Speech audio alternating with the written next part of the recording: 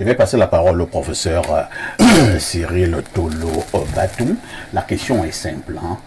Est-ce que la procédure conduisant à la nomination de nouveau coach des Lions Indomptables a été respectée?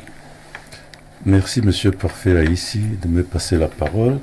Mais avant de répondre à votre question, Oui. j'aimerais dire que peut-être vous vous trompez, vous vous êtes trompé sur le diagnostic, sur les causes de ce qui se passe aujourd'hui. Vous avez dit en introduction que tout est parti de la nomination du nouveau coach par le ministre des Sports. Non. Là, c'est une conséquence tout est parti en réalité de la débâcle des lions indomptables en Côte d'Ivoire. Et c'est pour ça que j'ai dit que le problème était politique. En réaction à cela, le chef de l'État a tenu un discours le 10 février 2024. Permettez-moi de lire quelques extraits, j'en ai trois. Voici ce que le président de la République dit. Comme moi, vous avez été certainement déçus par l'élimination de nos lions indomptables lors de la Coupe des Nations qui se déroule actuellement en Côte d'Ivoire. C'est son ressenti à lui. Il fait un diagnostic. La victoire n'est toutefois pas le fait du hasard. Elle exige certes du talent, mais aussi du courage, de la discipline, écoutez bien les mots, la discipline, de l'organisation et du travail acharné. Diagnostic du chef de, de l'É- l'État. L'État, dans le contexte difficile actuel, qui est notre, Qui est le nôtre? Oui, qui est le nôtre, consent de lourds sacrifices financiers. À cet égard, il est donc en droit d'exiger une meilleure organisation et des meilleurs résultats. Et qu'est-ce qu'il apporte comme solution? Nous allons y veiller. Le gouvernement et tout particulièrement le ministre en charge d'export ont été, ont reçu des instructions claires sur le sujet. Voilà ce que le chef de l'État dit. Qu'est-ce que le ministre a fait? Il y a eu des réunions à la primature. Tout le monde le sait. Il y a eu des réunions à la présidence de la République pour la répercussion des hautes instructions et des hautes directives du chef de l'État. Ce que le ministre des Sports a donc fait, c'est tout simplement appliquer les instructions qui ont été données. Maintenant, sur la forme, sur la forme, vous demandez si... C'est la procédure euh, qui amène à la nomination d'un nouveau staff technique et plus particulièrement le coach. Est-ce que cette procédure a été respectée par le ministre? Alors, le professeur Mathias Onangini vient de parler de l'attelage institutionnel qui existe entre la Fédération camerounaise de football et le ministère des Sports. Vous avez deux textes. Vous avez le décret de 2014 qui porte sur justement l'organisation de, des équipes nationales de football, sur leur organisation. Il fait bien d'en parler parce qu'à l'époque, c'est le professeur Joseph Ouna, le président de la normalisation, avec le ministre Son Adoum- papa. voilà, Adoum Garoua, qui, vu la débâcle que nous avions eue au Brésil, vous vous souvenez qu'un joueur avait même refusé, il y avait des problèmes de primes, un joueur a refusé de prendre le drapeau, le Premier ministre est resté là sur le stade, eh bien la situation était devenue intenable.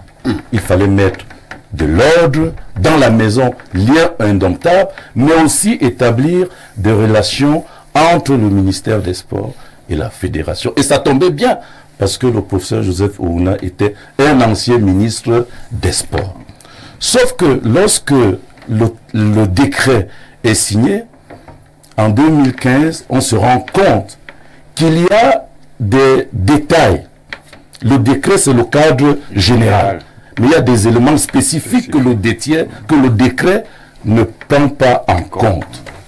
Et Mathias Runangini a parlé de la spécificité du Cameroun, d'ailleurs de tous les pays africains. C'est l'État qui finance le football. C'est lui qui finance en un droit de regard. Et prenons donc ce qui porte notamment sur la nomination. c'est l'article 9 de la Convention, qui dit une chose. Les membres, je vais lire hein, pour qu'on s'entende. Les membres des structures d'encadrement des sélections nationales de football sont recrutés soit sur la base d'un contrat signé par le président de la Fédération camerounaise de football, après avis obligatoire du ministre chargé des sports, le président de la fédération peut nommer l'entraîneur, mais il doit préalablement informer, solliciter l'avis du ministre des Sports. Deuxième hypothèse, soit sur la base d'une mise à disposition par l'État. Ça veut dire que l'État peut recruter de manière individuelle, l'encadrement et mettre à la disposition de la FECAFOOT. Par contre, la FECAFOOT ne peut pas recruter de manière individuelle un entraîneur sans préalablement informer l'État. Alors la question est de savoir, est-ce que la démarche du ministre respecte C'est ma question le sens même de ce texte Hmm. Oui. Pourquoi?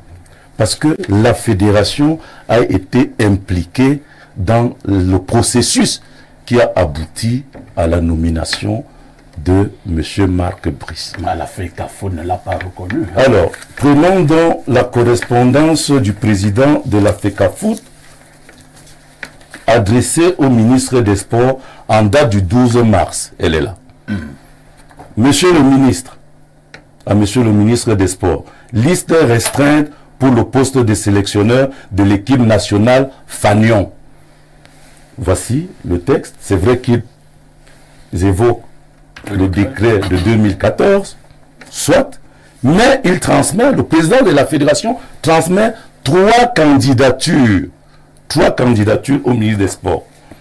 Hervé Jean-Marie Roger Renard, José Victor dos Santos Peizero, Fabio Carnavaro. Et aucun de ces coachs n'a été retenu par le ministre J'expliquerai des Sports. pourquoi. Non, je vais parler d'abord de l'implication. Le problème n'est pas est-ce que les coachs ont été retenus ou pas. Est-ce que la fédération a été impliquée ou pas. La fédération a été impliquée puisqu'elle a envoyé des dossiers de candidature. Très bien, évoluons. Alors, maintenant, dans le processus, il y a un groupe de travail qui a été mis en place. Et ce ne sont pas les seuls dossiers de candidature, il y en avait une trentaine. Lorsque je parle des instructions, qui ici autour de cette table connaissent les instructions qui ont été données au ministre des Sports dans les conditions financières difficiles de l'État en ce moment Personne autour de cette table. Mais il fallait faire des choix. Juste pour vous donner des éléments de réponse, les salaires demandés par les trois candidats de la FECAFOOT, M. Hervé Renard, 2 400 000 euros, ça fait 1 milliard 6 de francs CFA. Monsieur Par an. 1, 1, 1 milliard 6. Monsieur Dos Santos, 1,5 million d'euros. Ça fait 1 milliard de francs CFA. 984 millions. Bon, 900. près. Voilà, presque. Euh, monsieur Fabio Cannavaro, même chose, chose. Même chose. Alors, j'ai ici un autre document sur lequel le groupe de travail a s'est appuyé. Voici. Candidature au poste d'entraîneur sélectionneur. C'est tous les candidats qui ont été passés au crible avec leurs prétentions salariales. Et dans ce document, vous allez voir que tous ont les mêmes diplômes UEFA Pro. Et celui qui a le salaire le plus bas en termes de prétention, c'est M. Marc Brice. Vous savez combien il a demandé? 40 000 euros par mois. Donc 420 000 euros l'an. Voilà. Juste pour dire que Ça fait combien en CFA en CFA, ça fait à peu près Dans les 260 millions, 275, comme ça. 275 millions. Voilà, à peu près. 275 millions Et qui, qui constitue le groupe de travail? Le groupe de travail a été constitué, a été constitué par des personnes ayant l'expérience, dont, dont, effectivement, des collaborateurs du ministre, formés à l'INJS. Et les gens de la FECAFO n'étaient pas associés. Les gens de la FECAFOOT n'ont pas été associés à l'évaluation. À l'évaluation. N'ont pas été associés à l'évaluation. D'accord. Mais Je voudrais... Attendez, Oui, att- alors, oui, non, je je vais vais aller loin. ensuite, on va Juste, juste, juste pour vous dire, pour vous dire que sur la classification qui a été faite par ce groupe de travail, je vais vous dire les places occupées par les dossiers de la FECAFOOT. Monsieur José P0 est numéro 2, ici. Le premier, c'est Marc Brice. Deuxième, José P0. Troisième, Hervé Renard. Voilà. Pour Ah, dire Je ne comprends pas bien. Ça, c'est le document qui vient de la FECAFOOT. non, c'est le document du groupe de travail et qui a classé les dossiers. les dossiers Après examen. après examen. le premier, c'est M. Marc Brice. Le deuxième, c'est M. José Pezoro, dossier envoyé par la FECAFOOT. Le troisième, c'est M. Hervé Renard, dossier envoyé par la FECAFOOT. D'accord. Peut-être euh, je ne suis pas intervieweur, mais un petit élément. J'ai vu même Jean Il y a les là. éléments de critères financiers, mais est-ce qu'il y a aussi des éléments de critères sportifs? Parce que dans le classement, dans le classement, si on se dit par exemple qu'on a un horizon africain, on a Renard qui a deux fois gagné la Cannes. Comment se fait-il que Renard soit classé troisième? Est-ce qu'on a simplement privilégié les critères financiers ou on a aussi pris les critères sportifs? Ça, c'est une pondération. Alors, les critères, tous les critères ont été pris. Les critères de langue, le diplôme, l'activité, le staff, les critères financiers, les critères techniques, Et les comment on les critères. Je ne vais pas entrer dans le détail. Non, c'est comme le Monsieur, monsieur, monsieur le professeur, c'est qu'il est On a compris. comme moi. On a compris. Lorsque un étudiant passe avec 12 sur 20, c'est une pondération. Merci le bien. professeur le sait. Euh, Ça, c'est de la pondération qui établit l'orientation du classement. On a compris. Euh, je voudrais que... Alors, c'est pour ça, si vous permettez, j'ai juste dit quelles sont les instructions qui ont Non, été on données au ça, ministre des Sports On a dans les conditions financières actuelles? On a, on a bien compris, professeur Tolo. Euh, je voudrais que cette émission soit euh, très éducative et Très pédagogique. courtoise. Euh, parce que ça va dans tous les sens au niveau de l'opinion publique. Et donc, euh, les éminences que vous êtes, vous allez aider euh, ce- cette opinion à mieux euh, euh, comprendre. Sous les Honoyolo, nous sommes partis finalement pour une bataille de correspondance. Même comme moi j'insiste que tout est parti de la nomination du coach. Le professeur Toloma recadre tout à l'heure. Passons. Lorsqu'on a nommé le coach, ou bien lorsque le ministre a nommé le coach, le lendemain, on a vu la FECAFOOT réagir en apportant d'abord son étonnement, sa surprise, en stipulant clairement que la réglementation a été foulée au pied et en apportant une désapprobation. Par la suite, quelques jours après, on a également une autre correspondance du ministre des Sports, abondante correspondance, qui recadrait, entre guillemets, euh, la Fédération camerounaise de football, notamment son président, en apportant un certain nombre de précisions. Par la suite, nous avons eu le COMEX, le comité exécutif de la FECAFOOT, qui s'est tenu hier en urgence et qui a donné autorisation au président de la FECAFOOT, M. Samuel Eto'o, à nommer un nouvel entraîneur. Quelle est l'analyse que vous faites de ce bras de fer finalement au sommet? En fait, il n'y a pas de bras de fer en tant que tel. Je trouve seulement que il y a un enseignant émérite de droit universitaire qui a décidé de broucarder le droit, qui a décidé d'épuiser ces éléments. Vous voulez parler de qui? Mais son ministre. Quand vous avez, euh, quand vous avez écouté Cyril, je suis, je suis désagréablement surpris et déçu. Et je me souviens encore, je ne sais pas pourquoi on l'envoie toujours dans les mauvais rôles. C'est ce qui s'est passé avec euh, les stades de Lembe. Il a tapé la bouche plusieurs fois et jusqu'aujourd'hui, stades, le complexe n'est pas sorti de terre. Maintenant, il revient encore avec l'histoire euh, du ministère. Du. Vous ne pouvez pas, Monsieur Toulou, défendre cela. Mais si moi les combis puisent, n'est-ce pas, dans la brocante du droit, et dans la friperie du droit. Vous appuyez sur quoi? Sur des choses simples. Lesquels Hein? D'abord, parfait. Est-ce- On se serait, on aurait été épargné de ces choses si nous les commis n'avaient pas hein, la rancune, n'est-ce pas, ou le dés- désir de se venger contre et tout. Qu'est-ce qui a manqué à ce monsieur qui est enseignant de droit Ce monsieur qui est diplomate sur les bords, parce qu'il a quand même dirigé l'IRIC. C'est monsieur qui a été conseiller spécial du président. Qu'est-ce qui a manqué pour qu'il appelle Eto, qu'il discute conformément, n'est-ce pas, à, à l'article 3 du décret du 26 septembre 2014, n'est-ce pas?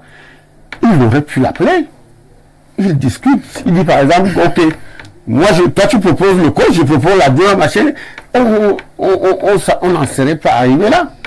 Mais sauf que, utilisant mal les instructions du président, je voudrais qu'on aborde même ces instructions, parce qu'il a dit, euh, le président, parce que dans sa correspondance, ce fleuve, qui en réalité du bavardage parce qu'il n'y a rien d'intéressant là.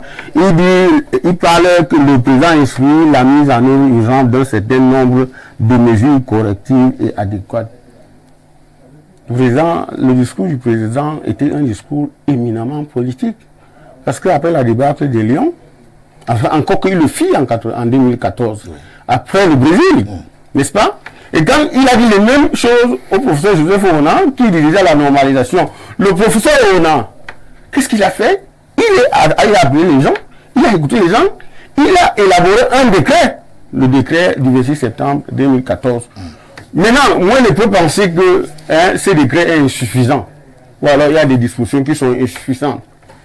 Mais vous ne pouvez pas en mettre entre parenthèses un homme extrêmement légal comme le président de la République qui ne s'amuse pas avec ces décrets. Vous prenez ce décret, vous mettez entre parenthèses et vous pensez à travers des réunions que vous faites à la primature que vous pouvez faire un passage en face. Et parler, il parle de haute de directives, il parle du haut accord. Le professeur Mathias Eric est là. Dans quelle norme juridique vous mettez haut accord? Vous mettez instruction, vous mettez directive Nulle part.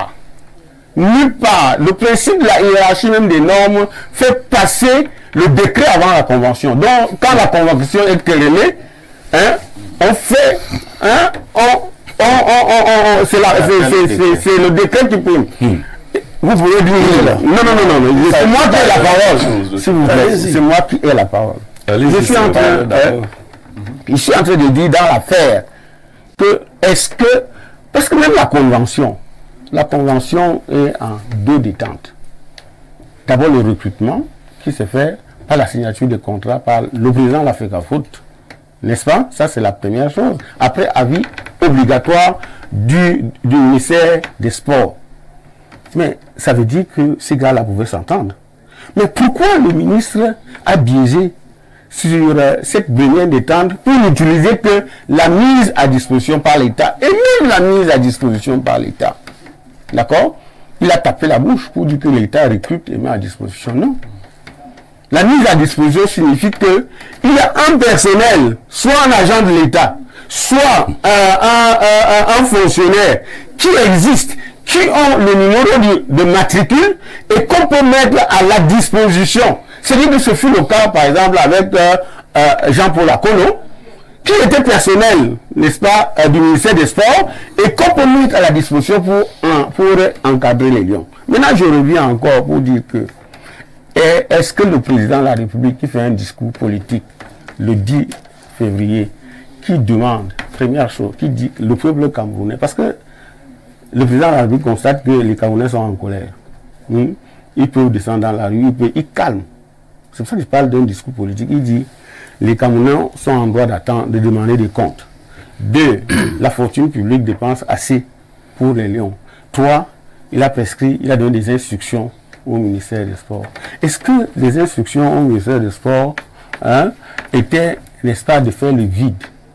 Est-ce que les instructions au ministère des Sports, en, en, appelait le ministre du Sport de sortir le muscle? Ou alors de faire ce que Achille appelle le brutalisme? Parce que ça, c'est le brutalisme. C'est-à-dire revenir dans une histoire où vous n'avez rien fait et puis vous vous permettez seulement de chasser les gens et à votre avantage. Là encore, je dis parfait à Donc, à vous- à- à- si je vous comprends très bien, à votre niveau, le ministre des Sports n'a pas respecté la procédure. Le ministre de Sport, Il a fait ce que vous appelez le brutalisme. le brutalisme, Un passage en force. un passage en force, un, parce que il, n'a jamais oublié l'humiliation qu'il aurait subie, n'est-ce pas, lorsque Vous avez dit qu'il était rancunier. Qu'est-ce que vous mettez dans la rancune? C'est ce que je suis en train de dire. Ce que je suis en train de dire. Lorsqu'en en 2022, n'est-ce pas, euh, le- Vous voulez revenir sur l'affaire Concessao La présidence de la République, reçu des commentaires. Le 28 février, n'est-ce pas, le, le ministre d'État secrétaire général écrit au ministre des Sports, j'ai l'honneur de vous faire connaître que Monsieur le Président de la République a marqué son très haut accord pour le remplacement. Là, vous avez admis du le mot accord. Oh là là. Non, je veux juste savoir. C'est là, pas lui. Oui, oui. parce Laissez que- qu'il aille jusqu'au oui, Vous de votre temps de parole, Le non? accord. Je voulais juste. Je ne fais pas la brocante, le débat de brocante. Si vous voulez parler, vous laissez. C'est parfait qui dirige la, par- la parole.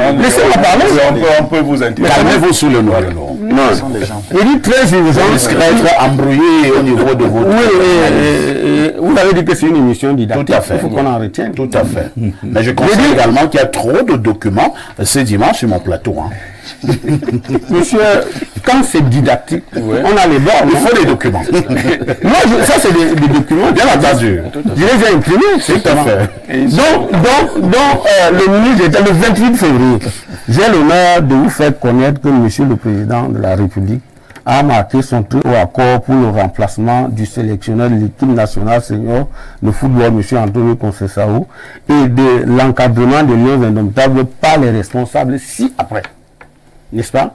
Ça veut dire quoi? Premier indice, c'est que les nominations sont venues de la présidence du secrétariat général à la présidence qui a fait qui a procédé au remplacement d'Antonio Concesao pour nommer ceci. Et c'est pour ça que je, quand dans la lettre de Moïse Kombi qui dit que la mise à disposition a dans le passé récent permis le recrutement et la désignation des exemples des staffs conduits par euh, Clarence Zidov, Antonio Concesao et Rigobert Son. Je- C'est un mensonge. C'est un mensonge parce que la nomination de son n'est pas la même que celle qu'il vient de faire exécuter. Parce que celle qu'il vient de, de faire exécuter, c'est quoi? C'est que, euh, permettez que je retrouve,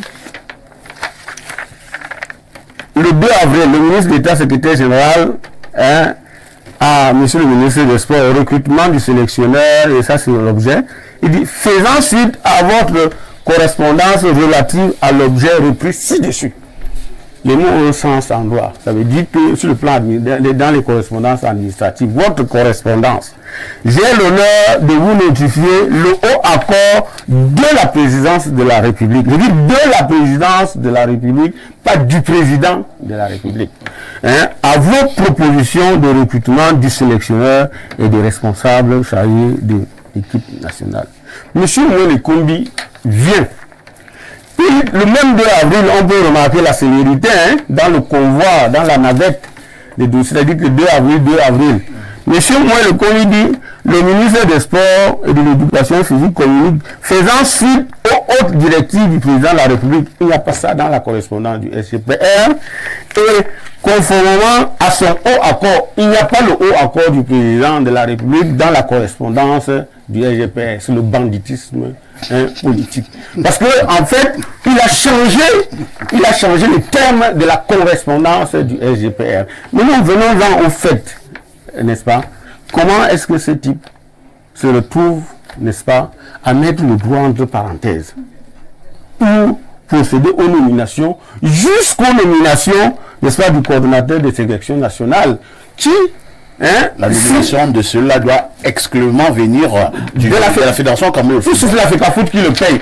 La nomination du team press manager, qu'est-ce que Thierry Ndou vous a fait Qui jusqu'aujourd'hui a, a changé n'est-ce pas, le traitement des papiers, le traitement des choses au Lyon pour aller prendre quelqu'un? Et comment est-ce que vous pouvez, euh, je vais chuter par là, par fin, comment est-ce que vous pouvez euh, euh, demander au secrétaire général, la présidente de la République, de marquer un accord pour la nomination d'un brouillon comme celui-ci?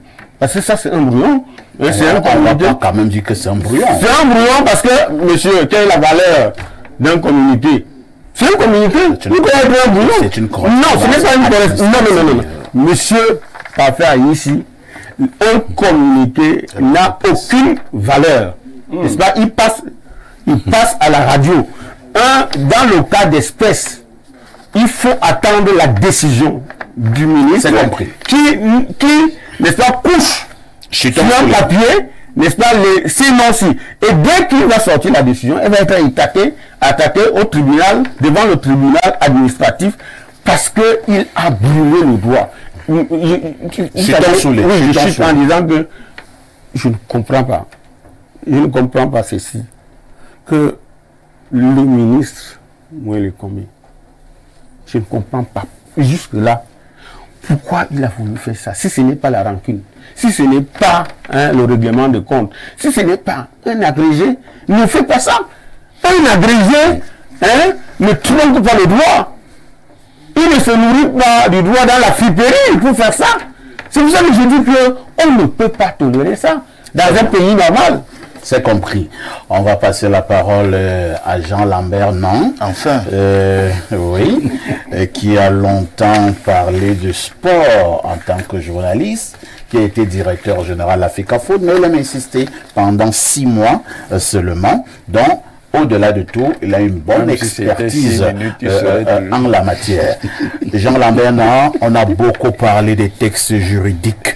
À un moment donné, d'autres ont même parlé du politique. Qu'est-ce qu'il faut finalement comprendre?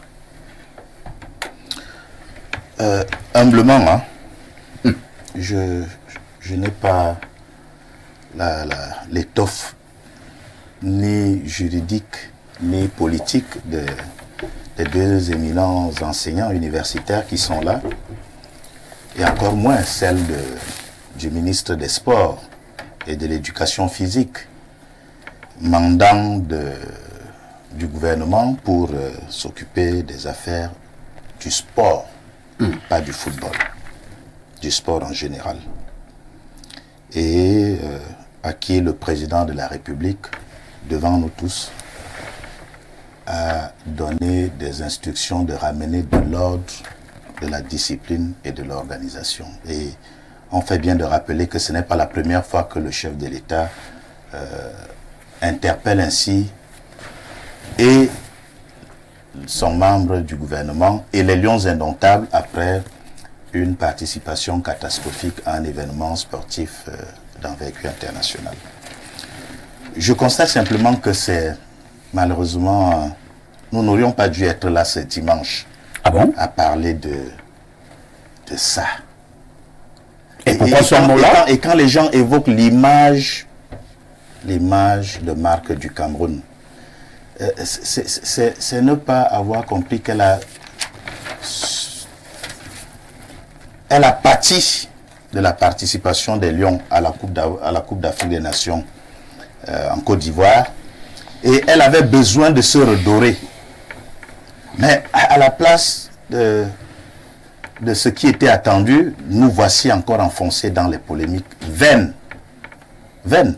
Parce que ce qu'on oublie, c'est que cette sélection nationale n'a pas disputé deux dates de la FIFA. Oui. Et que ça va l'enfoncer davantage Dans les classements. dans les classements FIFA et même dans la, la- la cohésion, la dynamique de, de, de Les cette joueurs qui sélection. ne pas ensemble. Et, et- créer cette polémique à ce moment-ci, il y a deux mois à peine, des éliminatoires pour la Cannes et la Coupe du Monde, c'est vraiment démontrer que le football n'est pas au centre de cette querelle. Parce que si c'est la nation camerounaise qui était au centre de la querelle, j'ai noté, ils auraient, ils se seraient concertés. C'est le professeur Onangine qui l'a dit. Consensus, concertation. Et le texte, le décret de 2014 a été fait pour ça. il a été fait pour ça. Consensus, concertation. Et on ne peut pas imaginer une autre relation entre une tutelle et une association sportive que celle de la concertation et du consensus, la recherche du consensus. Parce que le ministre des Sports n'est pas là pour gérer les associations. Il délègue à l'agrément qu'il donne. Et il attend le bilan. Il ne s'implique pas au quotidien. Quand le chef de l'État, de ma petite compréhension, dit mettez-moi de l'ordre, mais on ne met pas de l'ordre tout seul. On appelle quand même les fautifs, les indisciplinés. On leur dit voilà, le chef de l'État, vous avez suivi, il n'est pas content de ci, il n'est pas content de ça. Comment nous faisons pour sauver la maison du football? Qu'est-ce que nous faisons pour redorer le blason de notre football si terni? Mais je voudrais aussi dire que c'est une vieille habitude chez nous de, toujours remplacer les entraîneurs. Hein. Euh, souvenez-vous, le chant en 2000, 2000, il a bel et bien gagné la canne. 2002, Schaeffer, il a gagné la canne. Bros en 2017, il a gagné la canne, ils ont tous été mis à la porte. Moi, je n'étais pas surpris que son passe à la trappe. Nous avions même souhaité, quand j'ai dit nous, nous les Camerounais. Et donc, quand son passe à la trappe, on s'attend quand même à, et si on veut appliquer les instructions du chef de l'État, à quelqu'un qui a une bonne connaissance du football international, qui remplit, qui coche toutes les cases de la compétence. Et je vois que parmi les gens, et ça aussi, c'est une vieille habitude du ministère des Sports. Je parle maintenant comme ancien DG de la FECAFOOT. On vous propose des noms. Et il y a une short list, qu'on ne soit pas surpris que la FECAFOOT ait proposé trois noms. Il y a toujours une short list de trois noms. Et c'est parmi les trois noms que vous devez choisir. Et je voudrais dire qu'en la matière, en la matière, l'article 3 du décret dit que la compétence administrative, administrative et sportive reviennent à la FECAFOOT. C'est la FECAFOOT qui a les éléments. Quand on me dit que des, des ex-élèves de l'INJS, bon, fonctionnaires, et peut-être pas entraîneurs de football, fonctionnaires au MINSEP, s'asseyent pour désigner un entraîneur. Pour, ils ont désigné ou ils ont recruter, je ne sais pas. Où est-ce qu'ils... Je les connais, ils ne sortent jamais du triangle national. Comment ils ont fait pour savoir que Marc Brice, puisque la FECAFOOT a donné une liste de trois entraîneurs, et qu'on est allé choisir quelqu'un qui n'est même pas de la short list, ça veut dire qu'ils avaient déjà leur plan.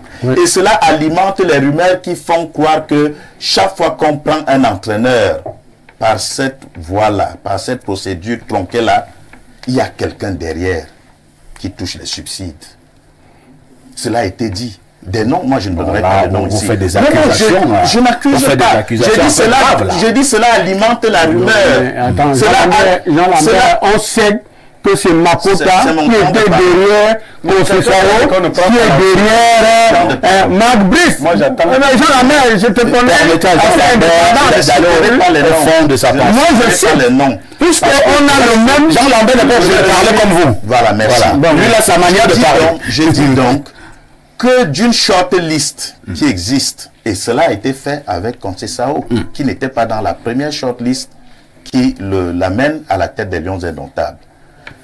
Voici Marc effectivement, lorsque nous avions appris que euh, la FECAFOOT et le ministère recherchent un entraîneur et que nous entendions les noms qui ressortaient, on se disait, ah, enfin on va avoir un vrai sélectionneur. On a même parlé de Mourinho.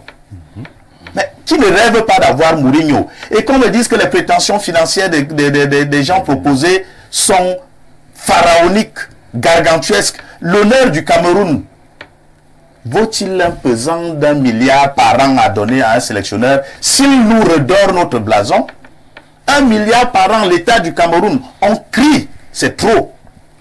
Et on va préférer quelqu'un parce qu'il est le moins cher. Il est le moins cher parce que sa compétence est la moins chère. Parce qu'il sait qu'il ne réussira pas et puis il va se faire sa retraite. Et, et- et quand on regarde les critères qui sont énumérés par le professeur Ntolo Batum, mais professeur, Monsieur Brice a quelle compétence Il a été chassé des trois clubs où il a été appelé. 44 euh, défaites, 8 victoires, 1 nul. Mais où est la compétence dans un championnat belge qu'il est censé connaître? On le propulse en Afrique, où on sait que le football en Afrique est différent, totalement différent de tous les autres footballs modernes. Et au Cameroun, où le chef de l'État a donné l'instruction de réinstaurer l'ordre. Vous croyez que Brice, je vais vous dire, les joueurs respectent les coachs en fonction de ce qu'ils ont produit eux-mêmes lorsqu'ils étaient footballeurs. Et lorsque, lorsque Marc va arriver, si vous voulez qu'il parle à qui? Qu'il ait quelle référence? Qu'il lui dise, j'ai joué et voici comment je me plaçais pour... Mais non, moi je crois que sans être contre le ministre des Sports, sans évoquer tout le talala politico-juridique et consort, il faut aimer ce pays. il faut aimer ce pays. Et aimer ce pays passe aussi par... de tous ceux qui m'ont précédé, euh, je crois que je suis le moins... Jean Lambert, vous n'êtes pas obligé d'avoir le temps de parole. Ah, mais que décider. Je voudrais, donc, je voudrais donc revenir à ce que le professeur Onangini a convoqué. Que la FECAFOOT et le MINSEP, il n'y a pas de honte à se retrouver à dire voilà, nous sommes sortis de nos prérogatives euh, euh, respectives. Le peuple, parce qu'il ne faut pas seulement évoquer le peuple quand il s'agit de politique. Le peuple n'est pas d'accord, professeur Tolo qu'on nous ramène un Macbis. Vous me direz, oui, qui était, j'ai entendu quelqu'un dire, qui était euh, euh, Jean Vincent avant qu'il n'arrive au Cameroun.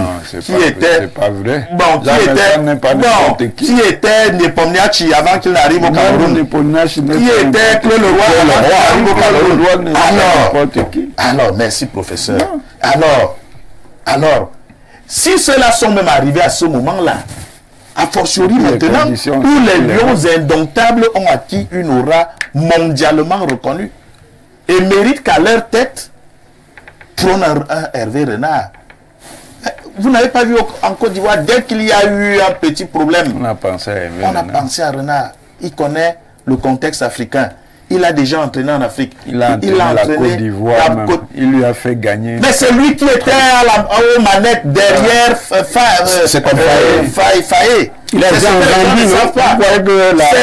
Hervé Renard qui a coaché les éléphants derrière le sélectionneur apparent. C'est compris. Il n'y a pas besoin de dire ça.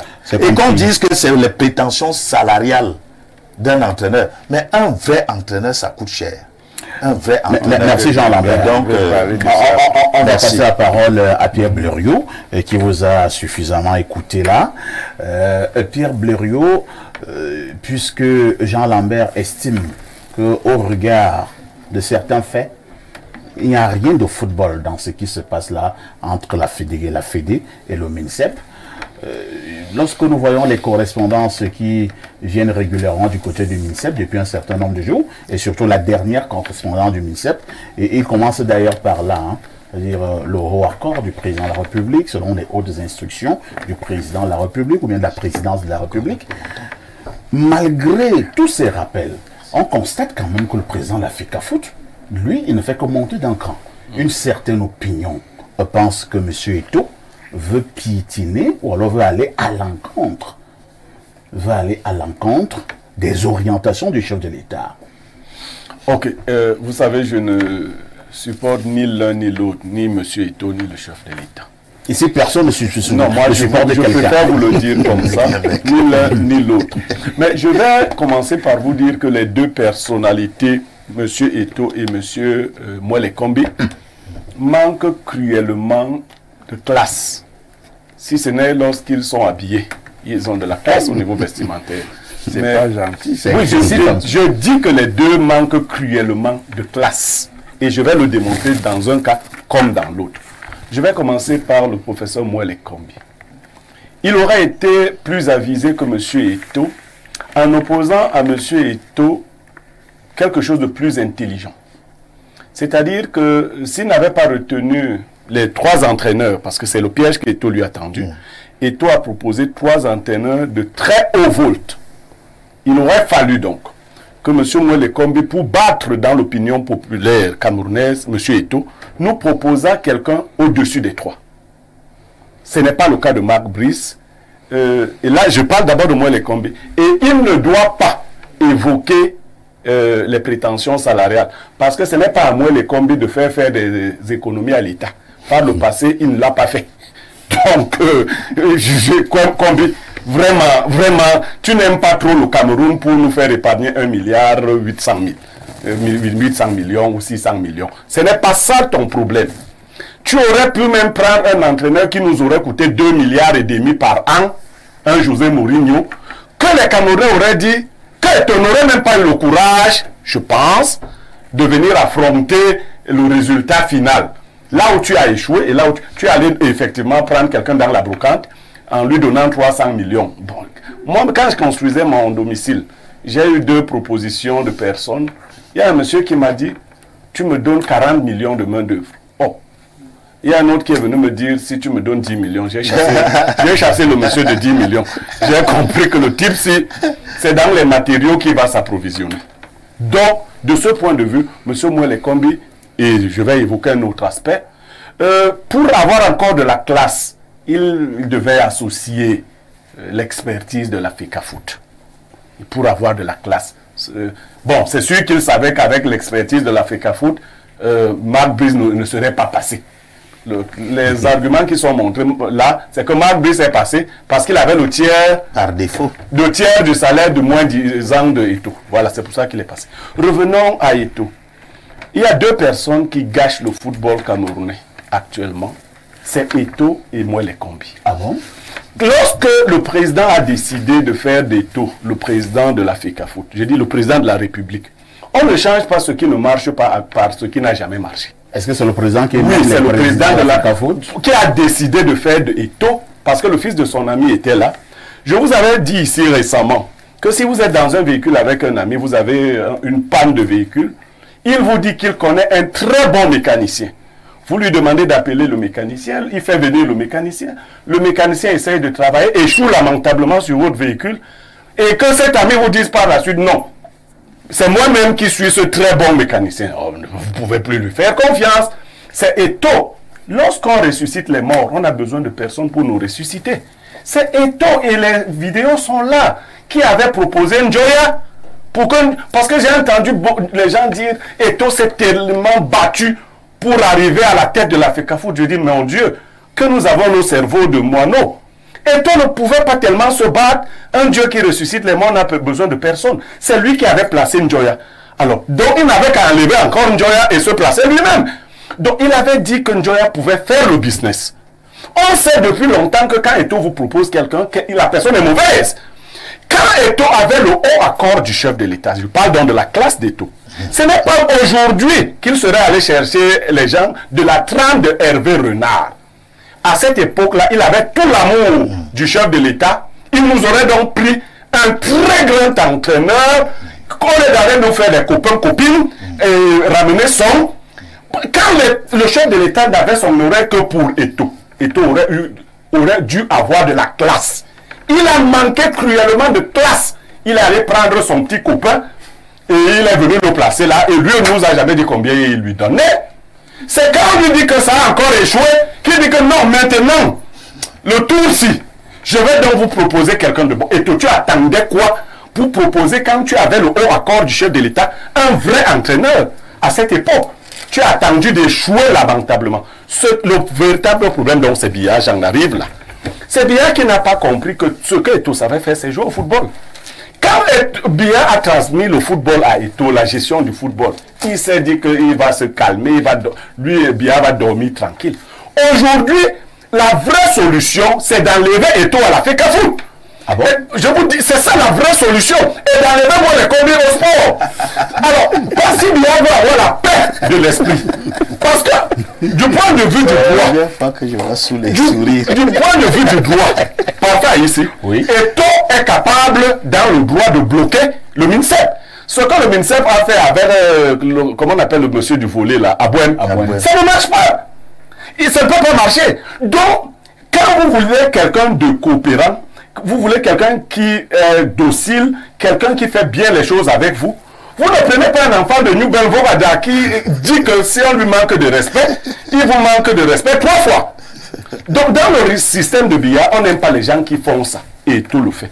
Et s'il le faisait avec classe, Beaucoup de gens disent ici que moi, les combis auraient dû euh, appeler Eto. Vous avez vu les attitudes d'Eto lorsqu'il avait l'impression d'avoir marché sur moi, les combis. Mais c'était de l'ou- l'outrecuidance. Il, il- ben, ben, il était car- carrément euh, devenu méprisant. Je ne partage pas Je- ça, c'est mon point. Me le partager, il ne me suffit pas déjà pour que vous le partagiez. On nous montre les images là. non, il me suffit pas ce point de vue pour que vous le partagiez.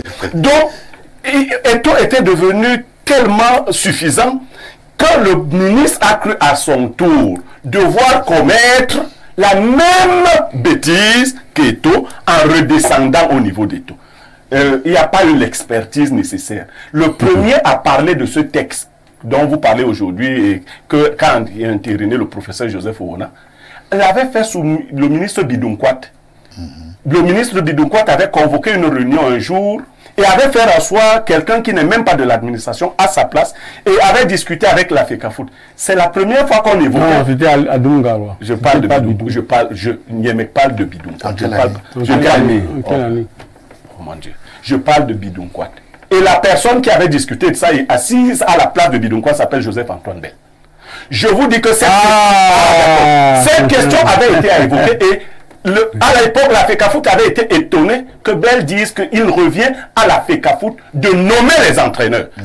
Si on dit le contraire aujourd'hui, parce que c'est tout. Lorsqu'on aura un bon président de la FECAFOOT, et on viendra dire c'est à la FECAFOOT de nommer les Mais entraîneurs. Bell a dit autre chose lors de sa dernière sortie. Hein. Non, il n'a jamais dit que ce n'est pas à la FECAFOOT de nommer les entraîneurs. Qu'est-ce qu'il a dit? Non, il a, non, non, il, il a Qu'est-ce que Bell a dit? Il a parlé des qualités de l'entraîneur actuel. qu'il a dit? Il a dit que l'entraîneur actuel n'est pas moins mauvais que d'autres que nous, moins qualifié que c'est la FECAFOOT qui a nommé celui-ci Non, non, mais est-ce que vous avez, que que oui, mais c'est- a dit.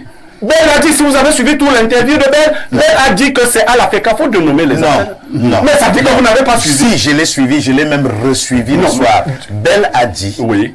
permettez de Oui, je vous interromps, Oui. que a, Eto ne doit pas se fâcher parce parce qu'on a nommé utilisé la même procédure procédure Qu'il a validé par le passé. validée pour la dont il n'a jamais que... Mais le sous-entendu, c'est que. Et- et- euh, non, ce n'est même pas le sous-entendu parce qu'il est allé plus loin. Il a dit que, il a dit que on n'aurait jamais, les choses ne seraient, seraient jamais passées comme ça avant. N'aurait jamais dû se passer de cette façon. Euh,